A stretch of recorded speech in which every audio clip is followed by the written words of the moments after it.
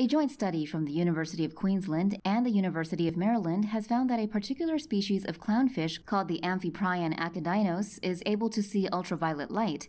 Sara Stieb, a researcher involved with the study, explained in a University of Queensland news release that these fish live close to the water surface, where UV light is able to easily penetrate through water. The study says that part of these fish's eyes have photoreceptors that are able to detect both ultraviolet light and violet light. With UV light vision, the fish can identify their kind as white stripes on a clownfish reflect ultraviolet light. This unique ability allows clownfish to communicate with one another over short distances as bigger fish aren't able to see UV light. The fish also uses ultraviolet light to find food it typically eats, such as zooplankton. These appear as darker dots as they absorb UV light, making it easier for clownfish to locate them.